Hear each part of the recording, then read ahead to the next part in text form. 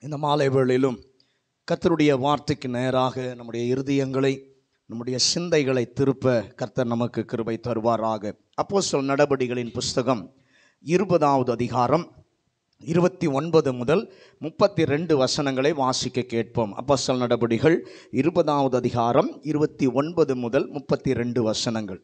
நான் போன பின்பு நான் போன பின்பு மந்தையை தப்பவிடாத கொடிதான ஓநாய்கள் மந்தையை தப்ப விடாத கொடிதான ஓநாய்கள் உங்களுக்குள்ளே வரும். உங்களுக்குள்ளே வரும். உங்களிலும் சிலர் எழும்பி உங்களிலும் சிலர் எழும்பி சீஷர்களை தங்களிடத்தில் இழுத்துக் கொள்ளும்படி சீஷர்களை தங்களிடத்தில் இழுத்து கொள்ளும்படி மாறுபாடானவைகளை போதிப்பார்கள் என்று மாறுபாடானவைகளை போதிப்பார்கள் என்று அறிந்திருக்கிறேன். அறிந்திருக்கிறேன். ஆனபடியால் ஆனபடியால் மூன்று வருஷ காலமாய் நான் மூன்று வருஷ காலமாய் இரவும் பகலும் கண்ணீரோடே இரவும் பகலும் கண்ணீரோடே இடைவிடாமல் அவன் அவனுக்கு புத்தி சொல்லிக் கொண்டு வந்து இடைவிடாமல் அவனவனுக்கு புத்தி சொல்லி கொண்டு வந்ததை நினைத்து விழித்திருங்கள். நினைத்து விழித்திருங்கள். இப்பொழுதும் சகோதரரே இப்போதும் சகோதரரே நீங்கள் பக்தி விருத்தி அடையவும் நீங்கள் பக்தி விருத்தி அடையவும் பரிசுத்தமாக்கப்பட்ட அனைவருக்குள்ளும் பரிசுத்தமாக்கப்பட்ட அனைவருக்குள்ளும் உங்களுக்கு சுதந்திரத்தை கொடுக்கவும் உங்களுக்கு சுதந்திரத்தை கொடுக்கவும் வல்லவராயிருக்கிற தேவன் வல்லவராயிருக்கிற தேவனுக்கும் அவருடைய கிருபையுள்ள வசன அவருடைய கிருபையுள்ள வசனத்துக்கும் உங்களை ஒப்பு கொடுக்கிறேன் உங்களை ஒப்பு கொடுக்கிறேன் நாம் வாசிக்க கேட்டதான இந்த வேத பகுதியிலே அப்போஸ்தலனாகிய பவுல் ஒரு வேத பகுதியிலே ஒரு சம்பவத்தை அவர் சொல்லுகிறார். இந்த அப்போஸ்தலனாகிய பவுலை தெரிந்தெடுத்தவர் ஆண்டவருடைய ஆண்டவர். அவரை வேறு பிடி வேறு பிரித்தார். இந்த கனமான ஊழியத்துக்கு கத்தர் அவரை என்ன பண்ணார்? அழைத்தார். அவர் அநேக சபைகளை ஸ்தாபித்ததை நம் காலை வேளையிலே நான் சொன்னேன். கொரிந்து சபையில் தெசலோனிக்கே பட்டணத்தில் கொலோசைய பட்டணத்தில் எபேசுவில் அவர் அநேக சபை சபைகளை என்ன பண்ணார்? ஸ்தாபித்ததான ஒரு மனிதன். அது மாத்திரமல்ல வேதத்தில் பதினான்கு நிருபங்களை எழுத பயன்படுத்தினதான ஒரு நல்ல தேவ மனிதன் அப்போஸ்தலனாகிய பவுல்.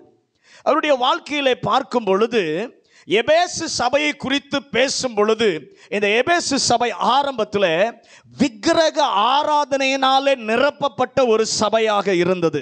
சொல்ல போனால் விக்கிரக ஆராதனைக்காரர்களாக இருந்தார்கள். தியானால் என்று சொல்லுகிற தெய்வத்தை அவர்கள் வழிபட்டு வந்தார்கள். ஆனால் அங்கே வசனம் சொல்லுகிறது எபேசியர் ஒன்று மூன்று வேகமாக வாசிங்க எபேசியர் முதலாவது அதிகாரம் மூன்றாவது வசனம். தம்முடைய கர்த்தரா நம்முடைய கர்த்தரா நம்முடைய கர்த்தராகிய இயேசு கிறிஸ்துவின். இயேசு கிறிஸ்துவின் பிதாவாகிய தேவனுக்கு ஸ்தோத்திரம். பிதாவாகிய தேவனுக்கு ஸ்தோத்திரம். அவர் கிறிஸ்துவுக்குள் அவர் கிறிஸ்துவுக்குள் உன்னதங்களிலே உன்னதங்களிலே ஆவிக்குரிய சகல ஆவிக்குரிய சகல ஆசீர்வாதங்களினாலே நம்மை ஆசீர்வதித்திருக்கிறார். நம்மை ஆசீர்வதித்திருக்கிறார். ஒரு அலையில சொல்லுங்களேன். எபேசு சபையை குறித்து அப்போஸ்தலனாகிய பவுல் சொல்லும்பொழுது சொல்லுகிறார் ஆவிக்குரிய சகல ஆசீர்வாதங்களினாலும் உங்களை என்ன பண்ணியிருக்கிறாரு? ஆசீர்வதித்து இருக்கிறார் ப பதினான்கு நிருபங்களை நீங்கள் வாசித்து பார்க்கும் பொழுது ஒவ்வொரு சபையை குறித்தும் பவுல் சொல்லிக் கொண்டு வருகிறதை பார்க்க முடியும். ஆனால் எபேசு சபையை குறித்து அவருக்கு மிகுந்த ஒரு தனி கவனம் இருந்தது. இந்த சபை கிறிஸ்துவுக்குள்ளே இன்னும் வளர வேண்டும். இந்த சபை தேவ வசனத்தில் என்ன பண்ண வேண்டும்? பெருக வேண்டும். அது மாத்திரமல்ல இந்த சபைக்காக அவர் என்ன பண்ணார்? பிரகாசமான மனக்கண்களை இந்த சபைக்கு கத்த தர வேண்டும் என்று அந்த சபைக்காக ஜெபித்த பவுல். ஒரு ஆமென் சொல்லுங்களேன். அலலூயா அப்படி இருக்கும் பொழுது பவுல் சபைகளை ஸ்தாபித்தது மாத்திரமல்ல சபைகளை அவர் விசிட் பண்ணி என்ன பண்ணுறார்? பார்க்கிறார். சபைகளை ஏற்படுத்தின பவுல் சபைகளுக்கு தலைவர்களையும் மூப்பர்களையும் என்ன பண்ணினார்? ஏற்படுத்தினார். இப்படியா இருக்கும் பொழுது இந்த எபேசு சபைக்கு அவர் என்ன பண்ணுகிறார்? கடைசி முறையாக ஒரு விசிட் வருகிறார். அவருக்கு நன்றாக தெரியும் மாம்சத்தின்படி என்னாலே திரும்பி என்ன பண்ண முடியாது? வர முடியாது என்பதை உணர்ந்த அவர் அந்த சபையில் உள்ள மக்களையெல்லாம் அவர் கூட்டி உட்கார வைத்து ஒரு எச்சரிக்கையை ஒரு ஆலோசனையை கொடுக்கிறார். அப்படி சொல்லும் பொழுது சொல்லுகிறார் இந்த சபையை விட்டு நான் போன பின்பு இந்த சபைக்கு ரெண்டு தீமைகள் வரும். ஒன்று என்ன பண்ணும்? ஓநாய்கள் சபைக்குள் வரும். வந்து சபையை என்ன பண்ணும்? சிதறடிக்கும். ரெண்டாவது மாறுபாடான உபதேசங்களை போதிக்கிறவர்கள் என்ன பண்ணுவார்கள்? வருவார்கள் என்று சொல்லி எச்சரித்து விட்டு அவர் சொல்லுகிறார் ஓநாய்களுக்கு எச்சரிக்கையாயிருங்கள்.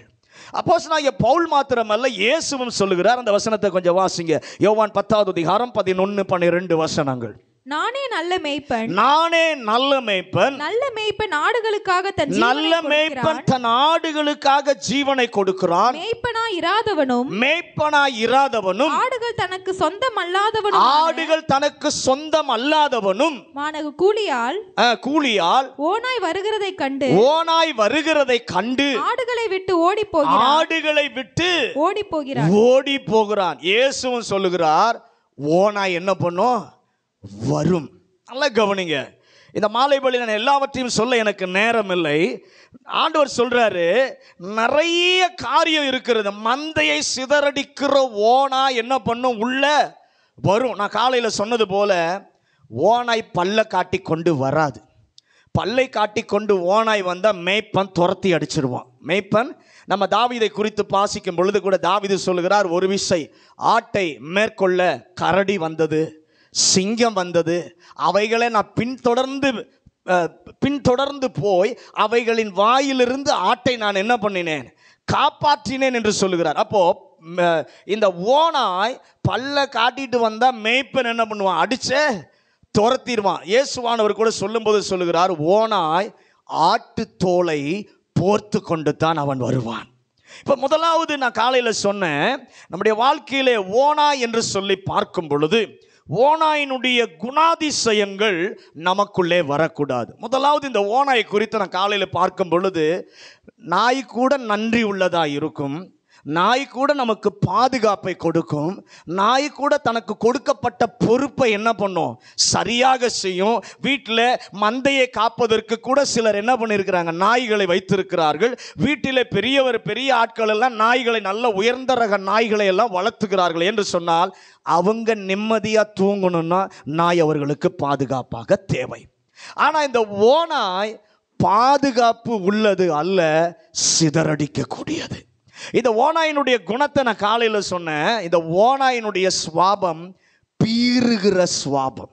ஆகவே இந்த பீறுகிற சுவாபம் அது எப்படின்னா அமைதியான ஆட்டுக்குட்டியை ஓட ஓட கதற கதற அதை துரத்தி பிடித்து பட்சித்து பீறி போட்டு அதை உட்கொள்ளுகிறதான குணம் ஓனாய்க்கு உண்டு. அப்படி இன்னும் சொல்லணும்னா ஓனாய் என்பது இரக்கமே இல்லாத ஒரு சந்ததி. நாம இரக்கமே இல்லாத ஒரு சந்ததியாய் இருக்க கத்த நம்மை அழைக்கவில்லை. நம்மை அழைத்தவர் யார் என்று சொன்னால் இரக்கமுள்ளவர். அல்லூயா எத்தனையோ முறை தவறு செய்தான். காலையில் சொன்னேன். இஸ்ரவேலை இஸ்ரவேல் ஜனங்களை ஆண்டவர் தண்டிப்பதற்கு எத்தனையோ முறை சித்தம் கொண்டார்.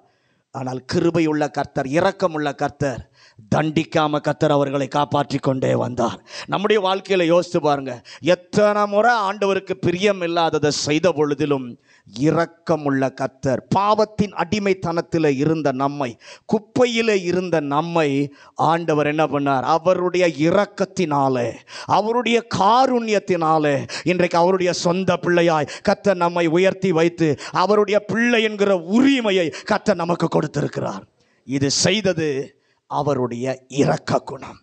முதலாவது இன்றைக்கு நான் காலையில் சொன்ன ஆதியில் சபைக்குள்ளே எல்லாமே வேத வசனத்தின்படி செய்கிற ஒரு நிலைமை இருந்தது. ஆனால் இன்றைக்கு விசுவாசிகளையே கொடூர குணம் உள்ளவனாய் பிசாசு என்ன பண்ண அவன் தான் ஓனாய் வஞ்சிக்கிறதான ஓனாய். ஆகவே வேதத்தில் பார்க்கிறோம் ரெண்டு சவுளை குறித்து சொன்னேன். ஒரு சவுள் தாவீதை துரத்திக்கிட்டே போயிட்டு இருந்தான். மகன் யோனத்தான் வேண்டுகிறான் அப்பாட்ட. எவ்வளவு நமக்கு நன்மை செஞ்சுருக்கிறான். நமக்காக தம்முடைய உயிரையே கையில் பிடிச்சிட்டு என்ன பண்ணிகிட்டு இருக்கான்? போய் கொண்டிருக்கிறான். நமக்கு ரொம்ப பிரயோஜனம் உள்ளவன். அவன் குற்றமற்றவன் சொல்லும்போது சவுல் சொல்கிறான் அவன் சாகணும். அவன் செத்தாதான் நம்முடைய ராஜ்யம் என்ன பண்ணும்? நிலை நிற்கும். அப்போது தாவிது கூட சவுல்கிட்ட கேட்குறான் உம்முடைய பணபலத்தை வச்சு உம்முடைய இராணுவ பலத்தை வச்சு ராஜா யாரை துரத்துகிறார்? செத்த நாயையா? தெல்லு பூச்சியையா? என்று சொல்லி கேட்கிறார். அப்போ அந்த அளவுக்கு அவனை கொல்லணும் தாவீதை கொல்லணும் தேவனுடைய திட்டத்தை முறியடிக்க வேண்டும் என்று சொல்லி சவுல் எழும்பி வருகிறான். ஆனால் சவுளையினுடைய திட்டத்தை ஆண்டவர் தாறுமாறாக்குகிறார். அல்லேலூயா அவன் தேவ திட்டத்துக்கு எதிராய் வந்தபடியினாலே அவன் குடும்பத்தையே அவன் இழக்க வேண்டிய ஒரு நிலைமை. ஆனால் புதிய ஏற்பாட்டிலே அதே பேருடைய சவுள் அதே குலத்தை சார்ந்த சவுல் ஒருவன் வருகிறான். எதற்காக? கிறிஸ்தவர்களை அழிக்க வேண்டும் என்று சொல்லி. அந்த சவுளை கத்தர் சந்தித்த பொழுது அவன் தன்னை தேவனுக்கு ஒப்பு கொடுத்த பொழுது அந்த சவுளை கத்தர் பவுலாக மாற்றி பதினான்கு நிருபங்களை எழுத அநேக சபைகளை ஸ்தாபிக்கிற ஒரு தேவ மனிதனாய் கத்தர் மாற்றினார். நம்மகிட்டையும் இருக்க வேண்டியது இரக்க குணம். மூர்க்க குணமுள்ள ஓனாய் இரக்கமே இல்லாமல் பட்சிக்கிற ஓனாயின் சுவாபங்கள் நமக்குள்ளே வராமல் நீங்களும் நானும் அதை தடுப்பதற்கு ஜாக்கிரதையாக இருக்க வேண்டும். ரெண்டாவது காரியம் நியாயாதிபதிகளின் புஸ்தகம் இருபதாவது ஐ- அதிகாரம் ஐந்து முதல் ஏழு வசனங்களை வாசிங்க. நியாயாதிபதிகள் இருபதாவது அதிகாரம் ஐந்து முதல் ஏழு வசனங்கள். அப்பொழுது அப்பொழுது கிபியா பட்டணத்தார் எனக்கு விரோதமாய் எழும்பி எனக்கு விரோதமாய் எழும்பி என்னை கொலை செய்ய நினைத்து என்னை கொலை செய்ய நினைத்து நான் இருந்த வீட்டை நான் இருந்த வீட்டை ராத்திரியிலே வளைந்து கொண்டு ராத்திரியிலே வளைந்து கொண்டு என் மறுமனையாட்டியை அவமானப்படுத்தினார்கள். என் மறுமணம் ஆட்டியை அவமானப்படுத்தினார்கள் அவள் செத்துப் போனாள் அதனாலே அவன் செத்து போனால் ஆகையால் இஸ்ரவேலிலே ஆகையால் இஸ்ரவேலிலே அவர்கள் இப்படிப்பட்ட முறைகேட்டையும் இப்படிப்பட்ட முறைகேட்டையும் மதிகேட்டையும் செய்தபடினால் மதிகேட்டையும் செய்தபடியினால் நான் என் மறுமனையாட்டியை பிடித்து நான் என் மறுமனையாட்டியை பிடித்து துண்டித்து துண்டித்து இஸ்ரவேலின் சுதந்திரமான இஸ்ரவேலின் சுதந்திரமான சகல நாடுகளுக்கும் அனுப்பினேன். சகல நாடுகளுக்கும் அனுப்பினேன். நீங்கள் எல்லாரும் நீங்கள் எல்லாரும் இஸ்ரவேல் புத்திரராமே. இஸ்ரவேல் புத்திரராமே. இங்கே ஆலோசித்து இங்கே ஆலோசித்து தீர்மானம் பண்ணுங்கள் என்றான். தீர்மானம் பண்ணுங்கள் என்றான். இரண்டாவது குறிப்பு உன் பரிசுத்தத்தை இழக்க செய்வது ஓனாயனுடைய சுவாபம். உன் தெய்வீக வாழ்க்கையை கெடுப்பது ஓனாயனுடைய சுவாபம். இரண்டாவது குறிப்பு ஒரு சபையில் உள்ள தேவ பிள்ளைகள் ஓனாயின் தந்திரமான காரியத்திற்கு உன்னை விளக்கி நீ பரிசுத்தமாக்கி கொள்ள வேண்டும். இங்கே நாம் பார்க்கிறோம் இந்த சம்பவத்தை குறித்து பார்க்கும் பொழுது பத்தொன்பதாவது அதிகாரத்திலிருந்தே அதை நீங்கள் வாசிக்க முடியும். ஒரு லேவி கோத்திரத்தான் ஒருவன் ஒரு பெண்ணை என்ன பண்ணுகிறான்? விவாகம் பண்ணுகிறான். அவன் மனைவி புருஷனுக்கு என்ன பண்ணுகிறாள்? துரோகம் பண்ணுகிறாள். அது அவளுடைய அதனாலே குடும்ப உறவிலே ஏற்பட்ட பிரச்சனையினாலே இப்போ லேவி கோத்திரத்தான் தன் மனைவியை சேர்த்து கொள்ள விரும்பினான். மாமனார் வீட்டுக்கு போகிறான். மாமனார் வீட்டுக்கு போன உடனே மாமனாருக்கு ரொம்ப சந்தோஷம். மனைவிக்கும் ரொம்ப சந்தோஷம். அவன் வீட்டிலே மாமனார் என்ன பண்ணுகிறான்? நீ இருந்து தங்கி எங்களோடு கூட சந்தோஷமா இரு. புறப்பட்டு போகிறேன்னு சொல்கிறான் இன்னும் ஒரு நாள் என்ன பண்ணு? எங்களோடு கூட இந்த ராத்திரியும் நீ தங்கி இரு. காலையில் என்ன பண்ணலாம்? போகலாம் என்று சொல்லி அவனை வற்புறுத்துகிறான். அவன் என்ன பண்ணுகிறான்? அங்கே மூணு நாள் இருந்து விட்டான். அந்த மூணு நாளைக்கு பிறகு அவன் சொல்கிறான் இன்று காலையில் அவன் புறப்படும்போது சொல்கிறான் இல்லை நாளை காலையில் போகலாம். அவன் சொல்கிறான் இல்லை இன்றைக்கே நான் போயாக வேண்டும். இன்றைக்கே நான் என்ன பண்ண வேண்டும்? போயாக வேண்டும் என்று சொல்லி பிடிவாதமாய் அங்கே வீட்டிலிருந்து அவன் கிளம்புகிறான். புறப்பட்டு வரும் பொழுது வேலைக்காரன் கழுதை மனைவி எல்லாரும் என்ன பண்ணுகிறார்கள்? வரும்போது சூரியன் அஸ்தமிட்டு அஸ்தமிட்டு விட்டது.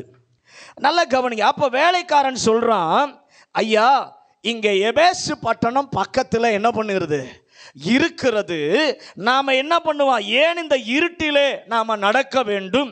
ஒரு ஆபத்தான ஒரு பாதையிலே நாம் ஏன் போக வேண்டும்? நாம் என்ன பண்ணலாம்? இங்கே தங்கிவிட்டு போகலாம் என்று சொல்லி அவன் சொன்னான். அப்போ சொல்கிறான் இது இந்த இடத்துல என்ன பண்ணக்கூடாது? அவிசுவாசி ஒரு இந்த இடத்துல என்ன பண்ணக்கூடாது? தங்க கூடாது என்று சொல்லி அவன் என்ன சொல்கிறான்? நம்ம சொந்த தேசமாகிய கிபியா பென்யமீன் பக்கத்தில் இருக்கிறார்கள். அங்கே போய் நாம் என்ன பண்ணலாம்? தங்கலாம் என்று சொல்லி கழுதையை வேகமாக அவர்கள் நடத்தி கொண்டு போகிறார்கள்.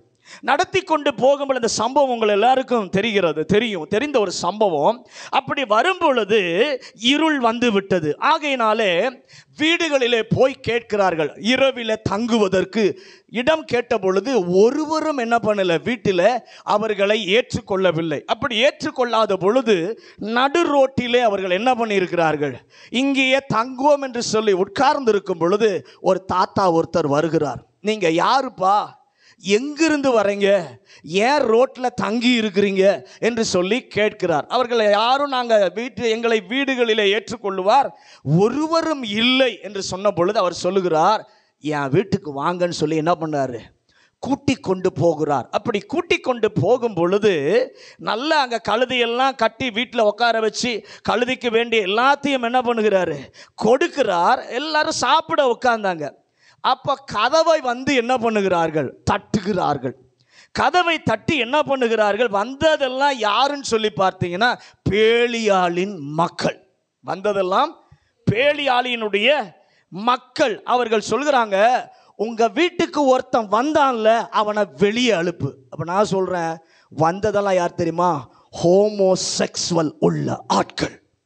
அவன் சொல்கிறான் அந்த வந்த ஆளை வெளியே அனுப்பு நாங்கள் அவனை என்ன பண்ணணும்? அறிய வேண்டும் என்று சொல்லி சொல்லும்போது அந்த தாத்தா சொல்கிறாரப்பா இது இஸ்ரவேலில் மதிகேடான காரியம். இப்படிப்பட்ட காரியத்தை என்ன பண்ணக்கூடாது? நாம் செய்யக்கூடாது. இது இஸ்ரவேலுக்கு அவ பெயரை கொண்டு வருகிற காரியம். வேண்டாம்ப்பா செய்யாதீங்கப்பான்னு சொல்லி சொன்ன நம்ம கேட்கல.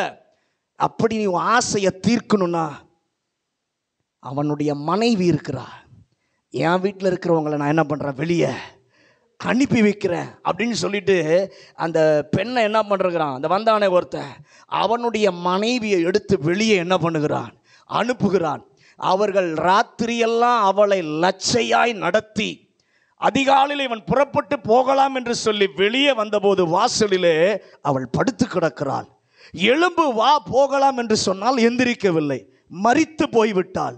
மறித்து போன அவளை தன்னுடைய கழுதையின் மேலே அவன் வைத்துக்கொண்டு என்ன பண்ணுகிறான்? அவன் போகிறான்.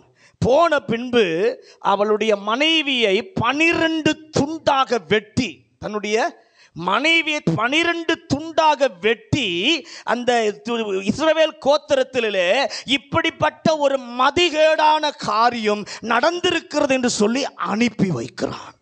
ராமேன் சொல்லுங்களேன். இதை செய்தது ஒரு பெரிய கூட்டம் அல்ல பென்யாமின் கோத்திரம் செய்யல ஒரு சின்ன தீவிரவாதிகள் என்ன பண்ணாங்க? செய்தார்கள். ஆகவே அவர்களை நீங்கள் என்னிடம் கொடுக்க வேண்டும்.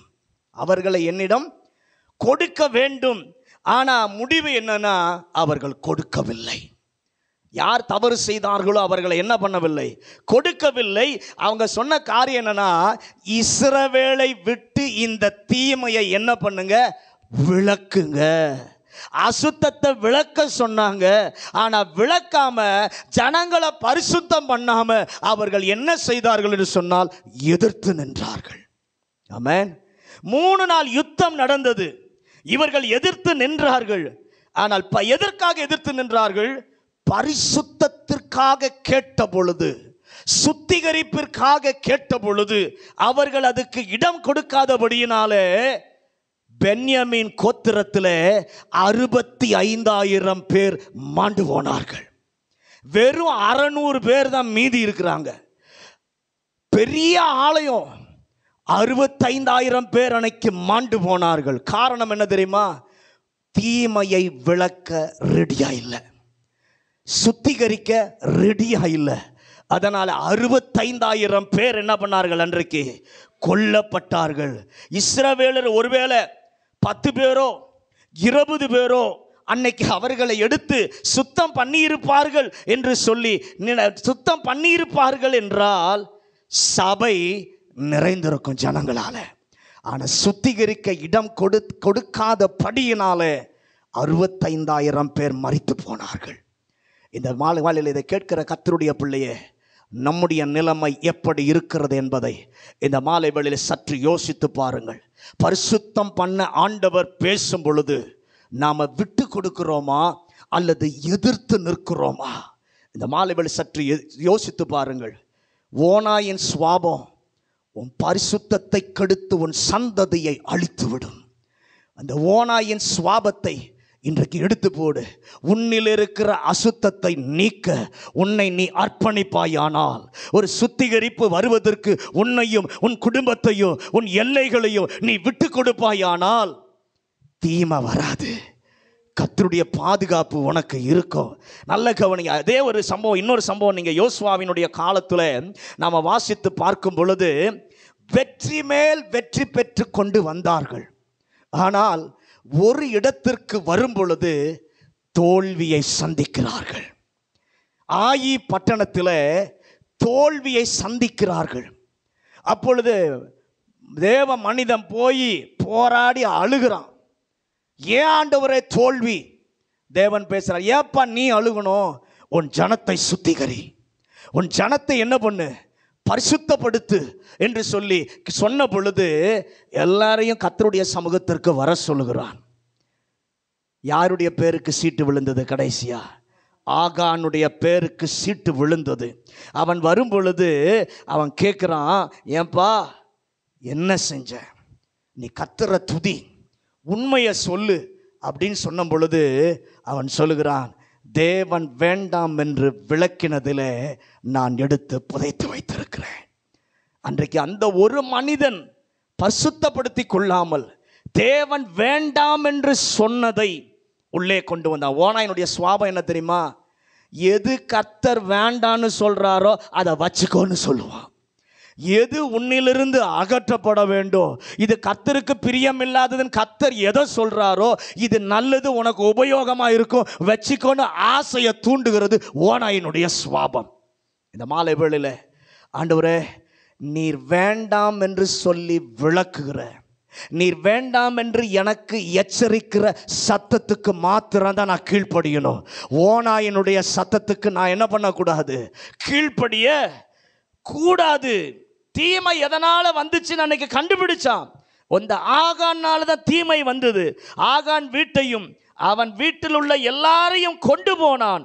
கல்லெறிந்து கொன்றான். அடுத்தது பார்த்தீங்கன்னா காணான் வரைக்கும் முன்னேறி சென்றார்கள். ஒரு அலுவலையா சொல்லுங்களேன். உங்கள் வாழ்க்கையில் தோல்வி வருதா?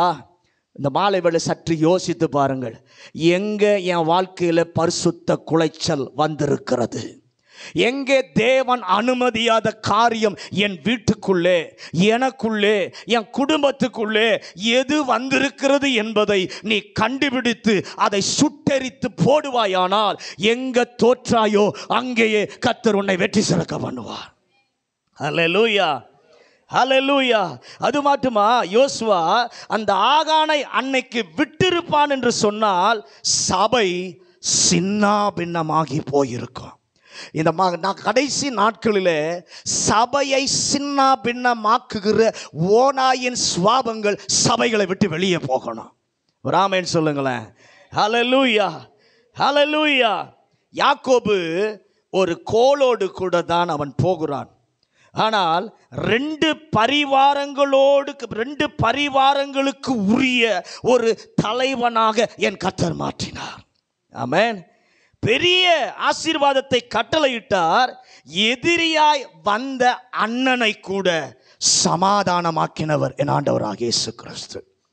லூயா எதிராய் வந்த சக்திகளை அழித்தார். ஒரு நாளிலே ஆண்டவர் கூப்பிட்டார் யாக்கோபே நீ ஆசீர்வாதமாய் இருப்பது நல்லதுதான் மந்தை பெருகுவதும் நல்லதுதான் ஆனால் ஒன்று செய்யணும் நீ பெத்தேலுக்கு போய் பலிபீடத்தை கட்ட வேண்டும். ஆமேன் ஆதியா முப்பத்தி ஐந்தாவது அதிகாரம் ரெண்டாவது வசனத்தை வாசிங்க. ஆதியாகமம் முப்பத்தி ஐந்தாவது அதிகாரம் ரெண்டாவது வசனம். அப்பொழுது யாக்கோபு அப்பொழுது யாக்கோபு வீட்டாரையும் வீட்டாரையும் தன்னோடே கூட இருந்த மற்ற அனைவரையும் நோக்கி தன்னோட இருந்த மற்ற அனைவரையும் நோக்கி உங்களிடத்தில் இருக்கிற அந்நிய தெய்வங்களை விலக்கி உங்களிடத்தில் இருக்கிற அந்நிய தெய்வங்களை விலக்கி போட்டு விலக்கி போட்டு உங்களை சுத்தம் பண்ணி கொண்டு உங்களை சுத்தம் பண்ணிக்கொண்டு உங்கள் வஸ்திரங்களை மாற்றுங்கள். உங்கள் வஸ்திரங்களை மாற்றுங்கள். இப்ப என்ன காலகட்டம் வந்தது என்று சொன்னால் பரிசுத்தம் பண்ணிக்கொள்ளுங்கள் பலிபீடத்தை கட்டுங்கள். பக்கத்தில் பார்த்து சொல்லுங்க. இப்போ என்ன காலத்தில் ஆண்டவர் நம்மை கொண்டு வந்திருக்கிறார் என்று சொன்னால் உங்களை பரிசுத்தம் பண்ணி கொள்ளுங்கள் பலிபீடத்தை கட்டுங்கள். அவன் தேவ ஆலயத்தில் போனான் பலிபீடம் கட்டினான் தங்களை பரிசுத்தம் பண்ணி அஞ்சாவது வசனத்தை வாசிங்க. முப்பத்தஞ்சு அஞ்சு. ஆதியாகமம். ஆதியா முப்பத்தி ஐந்து ஐந்து பின்பு பிரயாண ப- பிர- பிரயாணம் புறப்பட்டார்கள். பின்பு பிரயாணம் புறப்பட்டார்கள். அவர்களை சுற்றிலும் இருந்த பட்டணத்தாருக்கு. அவைகள் அவர்களை சுற்றி இருந்த பட்டணத்தாருக்கு. தேவனாலே பயங்கரம் உண்டாது உண்டானதினால். தேவனாலே பயங்கரம் உண்டானதினால் அவர்கள் யாக்கோபின் குமாரரை பின்தொடராதிருந்தார்கள். அவர்கள் யாக்கோபின் குமாரரை பின்தொடராதிருந்தார்கள். ஒரு ஆளுலையோ சொல்லுங்களேன். எப்ப பயந்தார்கள்? ஆசீர்வாதத்தை பார்த்ததினால் அல்ல.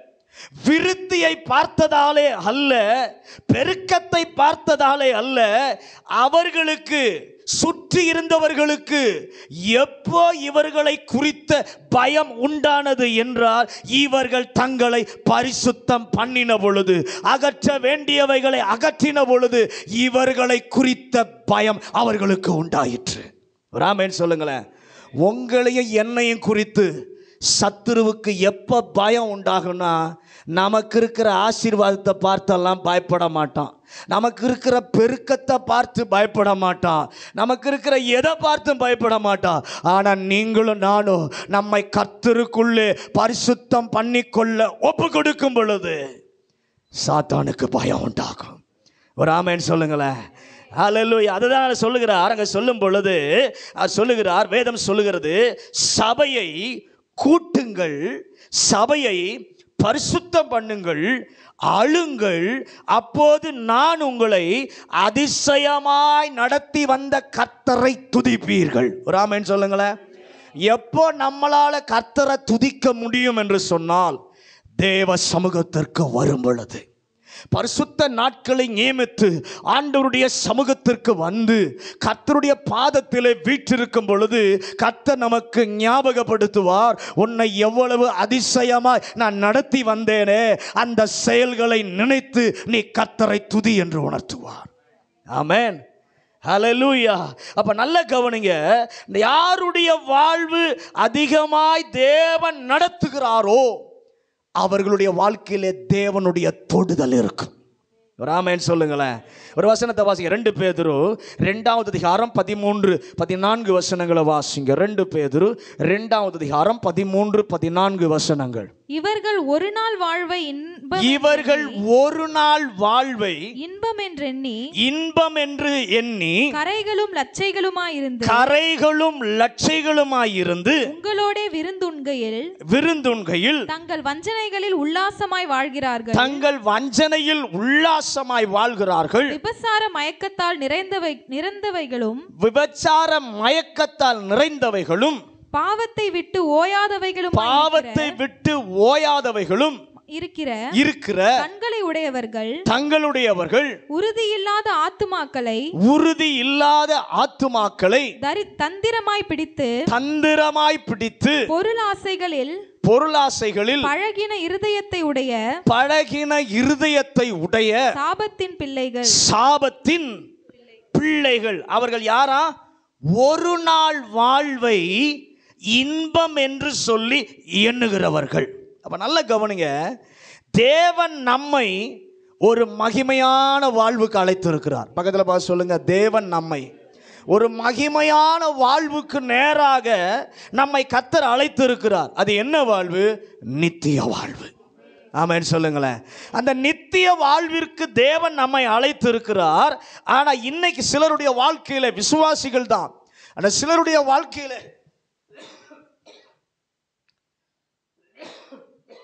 சிலருடைய வாழ்க்கையில பார்க்கும் பொழுது நாளைய தினத்தை குறித்த கவலையே இல்லை. நாளைய தினத்தை குறித்த கவலையே இல்லை. இன்னைக்குரியதை அனுபவித்தா போதும். இன்னைக்குரிய சந்தோஷத்தை நான் என்ன பண்ணால் அனுபவித்தால் போதும் என்று சொல்லுகிறார்கள். ஆனால் உங்களுக்கு எனக்கு கத்த நித்திய வாழ்வை வச்சிருக்கிறார். இந்த உலக இன்பம் வேணுமா? நித்திய வாழ்வு வேணுமா என்பது நாம செலக்ட் பண்ண வேண்டிய சாய்ஸா கத்தர் வச்சிருக்கிறார். ராமேன் சொல்லுங்களேன். அலலூயா நமக்கு ஒரு நாளை ஆண்டவர் கொடுக்கிறார். இந்த நாளை சந்தோஷ இந்த உலகத்தில் இருக்கிற காரியத்தினாலே சந்தோஷமாய் அனுபவிக்க நாம் திரும்புகிறோமா? அல்லது நித்திய வாழ்விற்கு நேராக நடத்துகிற ஆண்டவருடைய சத்தத்திற்கு கீழ்ப்படுகிறோமா? பரிசுத்தம் பண்ணுகிறோமா? என்று சொல்லி இந்த மாலை வேளையில யோசித்து கத்தர் சொல்லுகிறார் இன்றைக்கு நீ உன்னை பரிசுத்தம் பண்ணி கொள்வாயானால் நாளைக்கு நீ அற்புதங்களை காண்பாய். ஹalleluya ஹalleluya அப்போ ஒவ்வொரு நாளும் ஆண்டவர் நமக்கு கொடுப்பது நாம் பரிசுத்தத்தின் மேல் பரிசுத்தம் அடைவதற்கு. எத்தனை பேர் ஆமென் சொல்லுகிறீர்கள்? ஹalleluya அதனால உலகம் என்ன நினைக்கிறது என்று நினைத்தால் பார்ப்போமானால் இந்த நாளை சந்தோஷமா அனுபவிக்கணும். இந்த நாளை சந்தோஷமாய் அனுபவிக்க வேண்டும் என்று சொல்லி உலகம் நினைக்கிறது. ஆனால் ஆண்டவர் தருகிற ஒவ்வொரு நாளையும் குறிப்பாக சொல்லணும்னா ஒரு நாளையும் நாம் தவற விடக்கூடாது. லோயா தேவன் உலகில் ஆதாம் ஏவாளை கத்தர் என்ன பண்ணினார்? உண்டாக்கினார். எதற்காக? தேவனோடு கூட சஞ்சரிப்பதற்காக. தேவனோடு கூட உறவாடுவதற்காக கத்தர் ஆதாமையும் ஏவாளையும் என்ன பண்ணார்? வச்சார். தேவன் அவர்களை ஆசீர்வதித்தார். பெரிய தோட்டம் ஏராளமான நிலப்புலன்கள் எல்லாமே. ஆனால் ஒரு நாள் அந்த பெண் தங்களுடைய கண்களிலே தன்னுடைய கண்களிலே அந்த கனியை அவள் எப்படி பார்த்தாள் என்று சொன்னால் இச்சையோடு கூட பார்த்தாள். அல்லேலூயா. அந்த இச்சையோடு கூட பார்த்ததினாலே ஒரு நாள் சந்தோஷமா இருந்துச்சு. ஆனா குடும்பமே சீரழிந்து விட்டது. இந்த மாலை வேளை நமக்கு கத்தர் சொல்லுகிற காரியம் ஓனாய் கொண்டு வருகிற காரியம் ஒரு நாள் வாழ்வை மேன்மையாக உனக்கு காண்பிப்பான் ஒரு நாள் வே வாழ்வை இச்சையாக உனக்கு காண்பிப்பான் உன் கண்களை நீ பரிசுத்தப்படுத்த வேண்டும். உன் கண்களை சுத்திகரித்து ஆண்டவருடைய சத்தத்திற்கு நேராய் உன் கவனத்தை நீ திருப்புவாயானால் நீ தப்புவிக்கப்படுவாய். அல்ல லூயா வேதத்தில் வாசிக்கும் பொழுது சங்கீதக்காரன் சொல்லும்போது சொல்லுகிறார் கர்த்தரை எனக்கு முன்பாக நிறுத்தி நான் நோக்குகிறேன். எத்தனை பேர் இன்னைக்கு ரெடியாக இருக்கீங்க? கத்தரை எனக்கு முன்பாக நிறுத்தி கத்தரை என் வீட்டுக்குள்ளே எனக்கு குடும்பத்துக்குள்ளே எனக்கு முன்பாக நிறுத்தி அவரை நோக்கி பார்க்கிற கண்களை எங்களுக்கு கத்தர் இந்த மாலை வேளையில் தருவீராக. அல்லேலூயா எத்தனையோ நல்லா கவனிங்க. ஆண்டவர் வேதத்தில் பார்க்கும்போது இன்னொரு காரியத்தை குறித்து கூட நம்ம பார்க்க முடியும். தாவிதை குறித்து பார்க்கும் பொழுது தாவிது எத்தனையோ நாள் மேலே போய் உலாவினான். மேல் வீட்டு மேல் வீட்டில் போய் மொட்டை மாடியில் போய் எத்தனையோ நாள் உலாவினான். ஆனால் அன்றைக்கு மேலே போய் உலாவ போனவன் உண்மையில் எங்கே போயிருக்கணும்? யுத்த காலத்துக்கு போயிருக்கணும். ஆனால் மேல் வீட்டு அறையில் அவன் நின்று உலாவும் போது குளிக்கிற ஒரு பெண்ணை என்ன பண்ணான்? இச்சையோடு பார்த்தான். நான் கடைசியாக நடந்தது என்ன தெரியுமா? அவள் கணவனையே கொலை செய்கிற கொலைகாரனாக மாறினான். அது வேத வசனம் சொல்லுகிறது உன் கண்களுக்கு நீ கழிக்கம் போட வேண்டும். உன் கண்களுக்கு நீ கழிக்கம் போடணும். பாதுகாப்பை வைக்கணும் கண்ணுக்கு. கண்ணு தேவன் விரும்புகிறதை பார்க்கிறதா? அல்லது தேவன் விரும்பாததை பார்த்து நீ இச்சிக்கிறாயா? இச்சித்தாயானால் காலையில் சொன்னது போல ஓனாய் பீறி போடுவான். ஓனாய் பீறி போடுவான். ஆனால் பரிசுத்தம் உள்ள கர்த்தர் என்ன தெரியுமா எதிர்பார்க்கிறார்? நீ பரிசுத்தம் பண்ண உன்னை ஒப்பு கொடுப்பாயானால் அவருடைய கரத்தில் இருக்கிற மகிமை உள்ள பாத்திரமாக கர்த்தர் உன்னை பயன்படுத்த அவர் விரும்புகிறார். ஹலலூயா ஹலலூயா நல்ல கவனிய சாத்தான் காட்டுகிற இச்சைகளுக்கு நாம் செவி கொடுப்போமானால் கொஞ்சம் கவனத்தை திருப்பி விடுவோமானால் அநேக தோல்விகளை நாம் சந்திப்போம். ஆனால் கத்தர் சொல்லுகிற வார்த்தை கஷ்டமாக இருக்கும். ஆனால் அந்த கஷ்டமான கத்தருடைய வார்த்தைக்கு நீ செவி கொடுத்து உன்னை சுத்திகரிப்பாயானால் நீ பரிசுத்தப்படுத்துவையானால் ஒவ்வொரு வெற்றியின் ஸ்டெப்புகளுக்கு மேலாக கத்தர் உன்னை கொண்டு போவார். அலலூயா ஒரு படித்த ஒரு சம்பவத்தை நான் சொல்லுகிறேன். அநேக ஆண்டுகளுக்கு முன்பாக கொரியாவிலிருந்து பாஸ்டர் பால்யோங்கி பால்யாங்கி சோ அவர்கள் வந்தார்கள். பெந்தேகோஸ்தே ஃபெலோஷிப் மூலமாக அவர் வந்தார். நல்ல வரவேற்பு அவருக்கு என்ன பண்ணாங்க? கொடுத்தார்கள். நல்ல மலர் கிரீடமெல்லாம் போட்டார்கள்.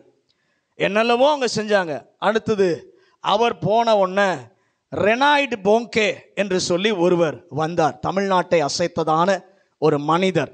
அப்போ அவர் வந்த பொழுது எல்லா பெந்தேகோஸ்தே போதகர்களும் கூடினார்கள். யார் என்று சொன்னால் பெரிய பெரிய பாஸ்டர்ஸ் கார் வச்சுருக்கிறவங்கெல்லாம் யாரோ அவங்களுக்கெல்லாம் என்ன பண்ணுச்சு? அழைப்பு கொடுத்தார்களாம். உண்மையாக அவங்க எழுதியிருந்ததை நான் சொல்லுகிறேன். அழைப்பு பெரிய பெரிய பாஸ்டர்ஸுக்கெல்லாம் அழைப்பு கொடுத்தாங்களாம். அப்போ அழைப்பு அழைப்பு கொடுத்து அந்த கூட்டத்தில் உட்காந்து நல்லா எல்லாருக்கும் நல்ல பிரேக்ஃபாஸ்ட் கொடுத்தாங்க. எல்லாருக்கும் நல்ல பிரேக்ஃபாஸ்ட் கொடுத்துட்டு எல்லாரும் உட்காந்து பேசுனாங்களாம். அப்படி பேசும் பொழுது அவங்க சொன்னாங்களாம் ரெனாய்டு போங்கே நல்ல ஒரு பெரிய தேவ மனுஷன். ஆகவே அவரை நல்ல மாலை போட்டு வரவேற்கணும். மீனம்பாக்கம் ஏர்போர்ட்லேருந்து அவர் அப்படியே பவனியாக என்ன பண்ணணும்? கூட்டிகிட்டு வரணும் அப்படின்னு சொல்லி சொன்ன பொழுது ஒரு பாஸ்டர் மட்டும் எந்திரிச்சு நின்று ஒரு கேள்வி கேட்டாராம். என்ன கேள்வி கேட்டாரான்னா நம்முடைய ஆலயத்தில் விசுவாசிகளுக்கு நாம் போதிக்கிறோம். திருமணம் பண்ணும்போது இந்த மாலையெல்லாம் போடாத நகை போடாத அது போடாத இது போடாத நாம் சொல்கிறோம் இப்போ வெளிநாட்டிலிருந்து எவனோ ஒரு வெள்ளைக்காரன் வரான்றதுக்காக அவனுக்கு மாலை போட்டு நாம் அவங்கள வரவேற்கிறத கத்தர் மன்னிப்பாரா? கத்தர் ஏற்றுக்கொள்ளுவாரா? என்று சொல்லி கேட்ட பொழுது கூட இருந்த சில பாச அவர் கேட்குற கேள்வி சரியான கேள்வி பதில் சொல்லுங்கள் அப்படின்னு சொல்லி சொன்னாராம். அப்போது கொஞ்ச நேரம் அமைதல் இருந்துச்சான் கொஞ்ச நேரம் கழித்து ஒரு பாஸ்டர் எந்திரிச்சு நான் மாலை போட்டு அவரை வரவேற்கிற கர்த்தர் என்னை மன்னிப்பார். கர்த்தர் என்னை மன்னிப்பார் என்று சொல்லி சொன்னப்போ இந்த பாஸ்டர் சொன்னாராம் போங்கப்பா. ஏதோ செய்யுங்கன்னு சொல்லி சொல்லிட்டு நடந்த காரியம் என்னன்னா அந்த ரெனாய்டு போங்கே வர வேண்டிய ஃப்ளைட் கேன்சல் ரெனாய்டு போங்கே வரக்கூடிய ஃப்ளைட்டு கேன்சல் அடுத்த நாள் விடிய காலையில் ரெண்டு மணிக்கோ மூணு மணிக்கோ தான் வந்திருக்கிறார். தனி மனுஷனாக வந்து ஹோட்டலில் போய் அமைதியாக தங்கிட்டார். தனி மனுஷனாக ஹோட்டலில் போய் அமைதியாக தங்கிட்டார். இன்றைக்கி நிறைய கிறிஸ்தவ கல்யாணம் பெந்தே கோஸ்தே கல்யாணத்தை பற்றி தான் பேசிகிட்டு இருக்கேன்.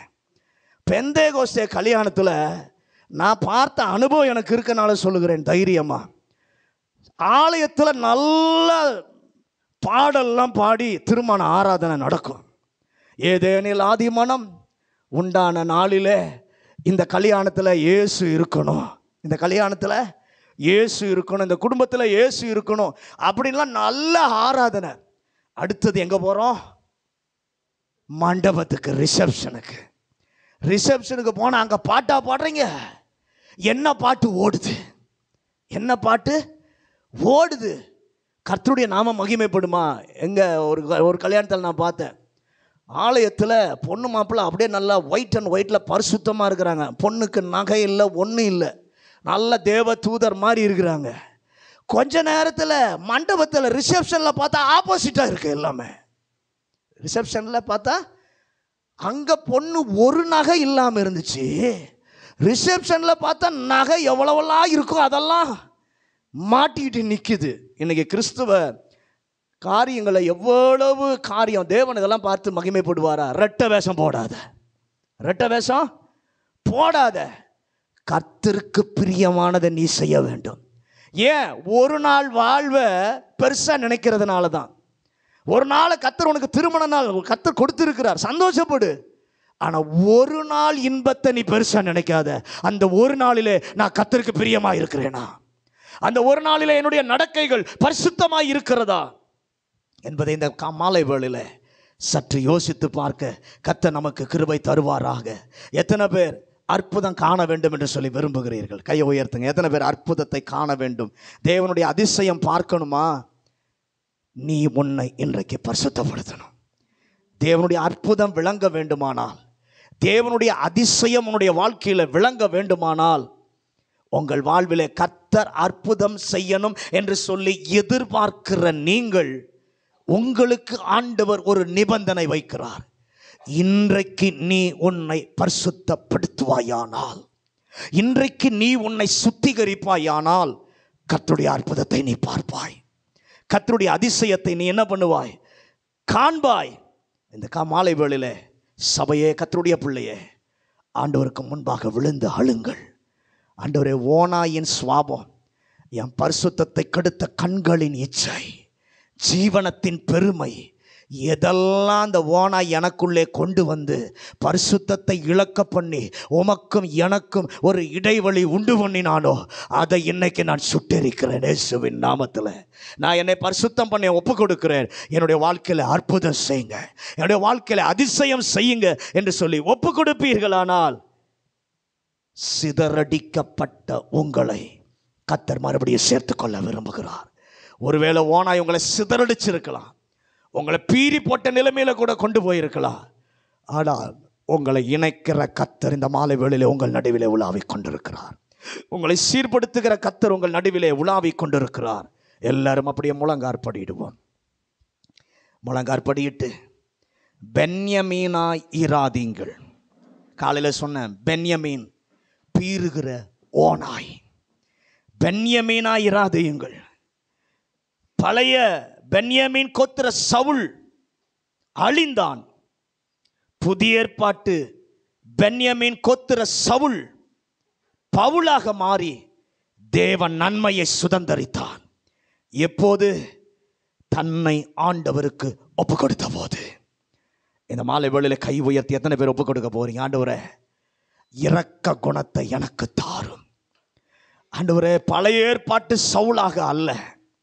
புதிய ஏற்பாட்டு சவுலாக நான் இருக்க என்னை ஒப்பு கொடுக்கிறேன் அந்த புதிய ஏற்பாட்டு சவுல் உமக்கு கீழ்ப்படிந்த தன்னை ஒப்பு கொடுத்த பொழுது கத்தர் அவனை பவுலாக மாற்றி பதினான்கு நிருபங்களை கத்தர் எழுத வைத்தீர் சபைகளை ஸ்தாபிக்க வைத்தீர் சபைகளுக்கு நல்ல ஆலோசனை கொடுக்கிற அறிவுரைகளை கொடுக்கிற நல்ல தலைவனாக உடைய கரத்தில் வச்சிருந்தீரப்பா இன்றைக்கு எனக்கு அந்த இரக்க குணத்தை சுவாபத்தை எனக்கு தாரும். உங்களை குறித்து சாட்சி சொல்லப்படுமா? உங்கள் மனைவி உங்கள் கணவன் உங்கள் பிள்ளைகள் உங்களை குறித்து சாட்சி சொல்லுவாங்களா? ரெண்டாவது பென்யமீனே உன் மதிகேடு நீக்கப்பட வேண்டும். உங்களை பரிசுத்தம் பண்ணி கொள்ளுங்கள் பரிசுத்தம் பண்ண சொல்லும்போது எதிர்த்து நிற்காதீங்க அன்னைக்கு பரிசுத்தம் பண்ண இதை யாரு? அவங்க எங்கள் கையில் ஒப்பு கொடுங்க சுத்திகரிங்க. இது தேவன் விரும்பாத காரியம். மதிகேடான காரியம். சுத்திகரிங்க என்று சொல்லும் பொழுது எதிர்த்து நின்றார்கள். அதனால் அறுபத்தி ஐந்தாயிரம் பேர் மாண்டு போனார்கள். ஒரு கோத்திரம் இல்லாமல் போகும் அளவிற்கு இஸ்ரவேல் சபையில் பெரிய அழிவு வந்தது. அந்த அழிவு நமக்கு வேண்டாம். பரிசுத்தம் பண்ண என்னை ஒப்புக் கொடுக்கிறேன் என்று சொல்லுகிற உங்களுடைய கரத்தை உயர்த்துங்க. உங்களுக்காக நான் ஜோம் பண்ண விரும்புகிறேன். ஆண்டவரே என்னை பரிசுத்தம் பண்ண நான் ஒப்புக் கொடுக்கிறேன் பரித்து பரிசுத்த சந்ததியாக நான் இருக்கணும். இறக்க குணம் இருக்கணும். பீறுகிற ஓனாயா நான் இருக்கக்கூடாது ஐயா என் குடும்பத்தில் பீறுகிற ஓனாயின் குணம் எனக்கு வேண்டாம் ஆண்டவரே. சாந்த குணமுள்ளவனாய் மாற்றும் உண்மை போல இறக்க குணம் எனக்கும் தேவை ஆண்டவரே. இந்த மாலை விட்டு கொடுக்குறேன் நீங்கள் விட்டு கொடுத்து பாருங்க. நிச்சயமாய் சொல்லுகிறேன். கத்தருடைய அற்புதத்தை கத்தருடைய அதிசயத்தை உங்கள் வாழ்க்கையில் பார்ப்பீர்கள். பரலோக பிதாவே இந்த ஆசீர்வதிக்கப்பட்ட அருமையான இந்த நல்ல மாலை வேலைக்காக ஸ்தோத்திரம். இந்த நாளிலே கத்தர் எங்களை நேசித்து ஆண்டவர் எங்களோடு கூட இடைப்பட்டீரே உமக்கு நன்றி ஆண்டவரே. உம்முடைய வார்த்தைக்காக நன்றி. ஆண்டவரே பென்யமீன் பீறுகிற ஓனாய் பென்யமீனின் குணம் எங்களுக்கு வேண்டாம். தகப்ப நினைச்சா பென்யமீன் என்னுடைய வலது கரத்தின் புத்திரன் என்று சொல்லி நினைத்தான். ஆனா பென்யமீன் தேவ மனுஷனுடைய வீட்டிலே வளர்ந்தாலும் அவன் ஓனாயாகத்தான் வளர்ந்தான்பா. அந்த நிலைமை எங்களுக்கு வேண்டாம். ஓனாய் பீறுகிற குணம் இற கொஞ்சம் கூட இறக்க குணமே இல்லாதது ஓனாய். அன்றுவரை இறக்க குணம் இல்லாத ஓனாயாக நான் இருக்கக்கூடாது ஐயா தேவன் எனக்கு இரக்கம் பாராட்டினி நானும் இரக்கமுள்ளவனாய் வாழ எனக்கு உதவி செய்யும். ரெண்டாவது ஆண்டவரே ஓனாய் எங்கள் பரிசுத்தத்தை கெடுத்துரும். இச்சைகளை கொண்டு வந்து ஒரு நாள் வாழ்வை இன்பமாக என்ன சொல்லி ஆண்டவரே உம்மோடு இருந்த ஐக்கியத்தை கெடுத்துருவான் உம்மோடு இருந்த உறவை உடைச்சிருவான் ஆண்டவரே. கண்களின் இச்சைகளை கொடுத்து ஆண்டவரே வஞ்சியாதபடிக்கு நான் அந்த ஓனாய்க்கு ஜாக்கிரதையாக இருக்க. என்னை பரிசுத்தம் பண்ணிக்கொள்ள நான் என்னை சுத்திகரிக்கும் பொழுது என்னை பரிசுத்தம் பண்ணும் பொழுது கர்த்தர் எனக்காக அற்புதம் செய்வேன் எனக்காக அதிசயம் செய்வீர். அதை என் கண்கள் காண கத்தர் தாரும். வந்த ஒவ்வொரு பிள்ளைகளையும் இந்த வசனத்தால் இடைக்கட்டும். இரக்க சுவாபம் உள்ளவர்களாய் மாற்றும். பரிசுத்தம் பண்ணிக்கொள்ளுகிற பிள்ளைகளாய் மாற்றும். ஆண்டவரே எப்பாடுபட்டாகிலோ நாங்கள் பரிசுத்தத்தின் மேல் பரிசுத்தம் அடைந்து பரம காணானுக்கு நாங்கள் வந்து சேரணும் ஐயா. கத்துறதுக்கு ஆயத்தப்படுத்தும். இயேசுவின் நாமத்தில் ஜெபிக்கிறோம். நல்ல பிதாவே. ஆமே என் ஆத்துமாவே கத்தரை ஸ்தோத்ரி என் முழு உள்ளமே பரிசுத்த நாமத்தை ஸ்தோத்ரி என் ஆத்மாவே கத்தரை ஸ்தோத்ரி கத்தர் செய்த சகல உபகாரங்களையும் மறவாதே. ஆமே இப்பொழுதும் நம்முடைய கத்தராக இயேசு கிறிஸ்துவனுடைய கிருபையும் பிதாவாகிய தேவனுடைய அன்பும் பரிசுத்த ஆவியானவருடைய அந்நியமைக்கும் சமாதானமும் நம் அனைவரோடும் அவருடைய வருகை மட்டும் இருப்பதாக. ஆமாம்